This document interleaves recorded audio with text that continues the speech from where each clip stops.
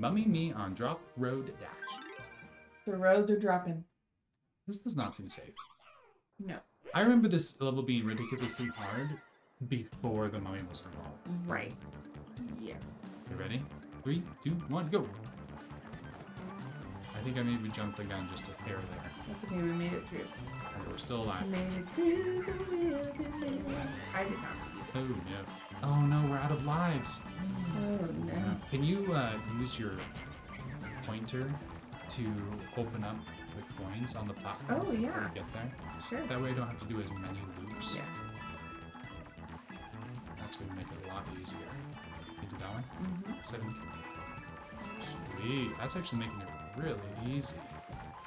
Yeah. Ooh, oh, that looks dangerous.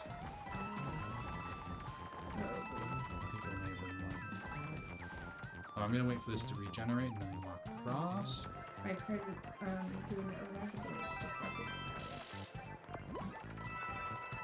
Okay, ready? hmm Here we go. Should I bowl out or just hang out?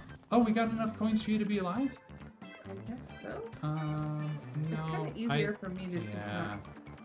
I'm just gonna. I might get hurt here. We'll see. Oh Oh, no! nicely done.